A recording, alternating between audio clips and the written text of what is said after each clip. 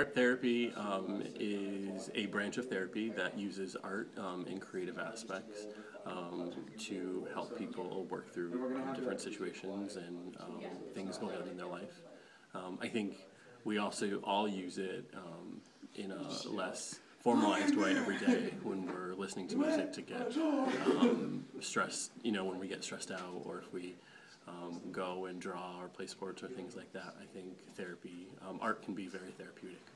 Um, art therapy is a way for a person or a student to release any type of emotions that they're having problem controlling, I'd say, through art and any type of projects that get them their hands and their minds working simultaneously.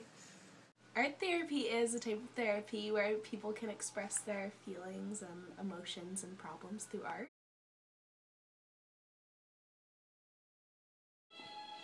I think doing art um, when you're stressed out is super beneficial. I think people um, paint or listen to music or go work out in the gym or play sports. Um, and I think um, a lot of the things that you, a lot of the components of your brain that you use for art um, help because it gets your mind off um, whatever's stressing you out it's a release.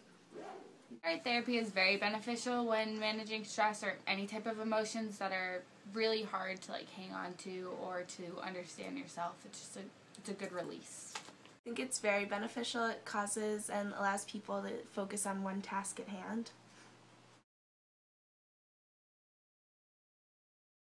I think everyone can benefit from um, art therapy and from um, doing art, um, whether it be little kids um, or adults or teenagers or old people. Um, I think everyone can absolutely benefit um, from the therapeutic qualities of art. The people that are most beneficial to art therapy are people who do have high stress in their lives and need a way to release it through something other than like real physical activity, I guess, something that they can sit down, relax, and kind of be very imaginative with, but don't have to like exert their mind or body too much while doing it.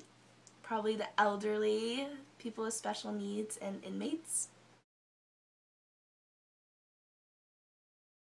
Um, a good example of art therapy, I think personally for me, I think painting's the best thing to do art therapy wise because it's very free free flowing and there's so many different ways you can go about it and so many things you can do with it. Um, well, my sister's an art therapy major and she uses printmaking with elderly people. Um, I absolutely do. I paint. Um, if I'm getting stressed out sometimes, I always listen to music. Um, I work in theater, um, and sometimes that stresses me out on its own, but um, it definitely um, helps. When my mom passed away, it was definitely a stressful time for me, but I was able to put myself back into the world of theater, and it helped me, you know, cope and deal with the stress because it let me get my creative juices out and work on something else.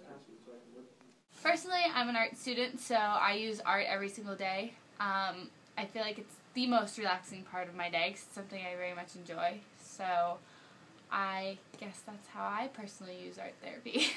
um, in high school, I used a lot, I took a lot of art classes and clay classes, and I found those to be very therapeutic.